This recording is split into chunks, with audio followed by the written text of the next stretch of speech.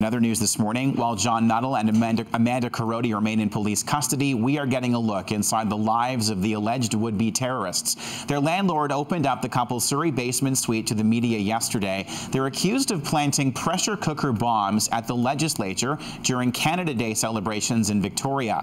The suite has a TV with what appears to be paintball holes shot into it. The couple had allegedly converted to Islam and were inspired by al-Qaeda. There are several references to Muslim culture there with handwritten notes about Islam. Nuttall and Korody appear in court again next Tuesday.